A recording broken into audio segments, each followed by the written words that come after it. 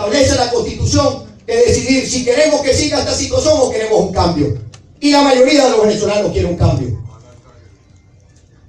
Así que yo, en primer lugar, convoco a todo el pueblo venezolano, la unidad convoca a todo el pueblo venezolano a restituir el hilo constitucional.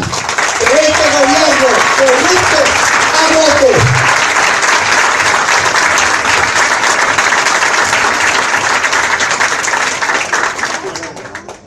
Y se traduce cómo restituimos los demócratas el hilo constitucional, el golpe que acaban de dar.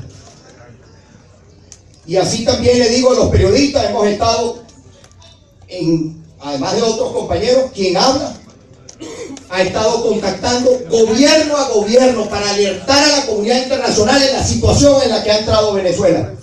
Y lo primero que quiero yo decirles a ustedes, señores periodistas, a la comunidad internacional, ayer en Venezuela se dio un golpe de Estado. No se puede calificar de otra forma. Ayer se dio un golpe Estado a todos los venezolanos. Ayer se fraguó lo que nosotros veníamos alertando que había que evitar. A toda costa había que evitar. El día de mañana está convocada una actividad para todas las mujeres. Para la mujer venezolana. Para el mundo entero. Para la madre venezolana que es una de las más afectadas.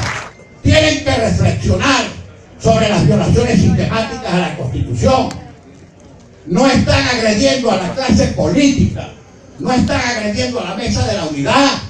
No puede ser posible que cada vez que se manifiesta la voluntad popular mediante el sufragio, el gobierno y quienes lo soportan inventen un ardid para hacer esa expresión de voluntad una fantasía. Gana Antonio Ledesma la alcaldía mayor e inmediatamente lo vacían de competencia y le colocan un gobierno del distrito capital. Gana las elecciones del Estado Miranda Enrique Capriles y le colocan un tal protector que perturbe sustrayendo recursos que debe ejecutar el gobernador porque fue quien ganó las elecciones. Y así sucesivamente.